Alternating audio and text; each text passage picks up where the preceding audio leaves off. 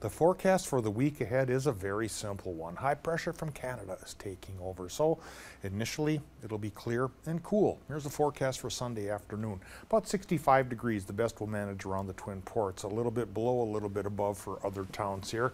The high pressure system brings in cooler air from Canada as it approaches, but as it departs, the backside will pump up southerly winds into our region.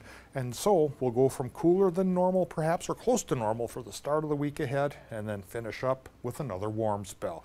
So let's get into the week ahead forecast here, the seven day.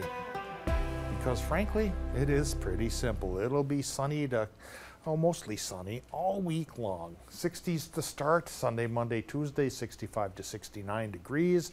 And then by Wednesday, that southerly wind brought in by the backside of the circulation sends us towards the mid 70s, and we ride that out all the way through Saturday, which of course is pleasant conditions for folks who want to get some chores done outdoors. A little too early to rake leaves, but some trees are giving us some work to do already. Uh, the fire danger, though, is going up now that we're running a rain deficit. We could use some rain.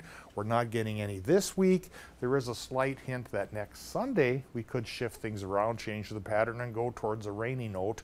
And we'll keep an eye on that note, of course, as we get closer.